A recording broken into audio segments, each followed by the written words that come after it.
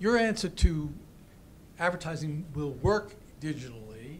No, it is it is working. Yes, but I mean, it's not working fast enough. Your answer to that was, Well- it's gonna take time, rather than digital ad rates are low, the volume is low, So here's the thing. low. Okay, so here's the thing. It's working just fine for BuzzFeed. It's working just fine for digital-only companies. It's working spectacularly well. And it's, it's, and it's working better and better every quarter for digital-only companies. But they don't have the print legacy, which is a completely different cost structure. So how to get out from under that print legacy without screwing up that business is really the key. And if you're, if you're, if that business costs X, you don't have Y to add on because of your legacy business, and you can't really go all in on digital.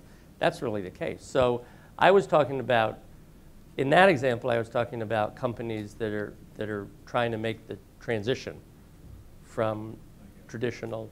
But for, but, um, but for pure digital companies, uh, advertising is there and there to stay and growing leaps and bounds, leaps and bounds, leaps and bounds. There's no issue with advertising against digital companies, none at all.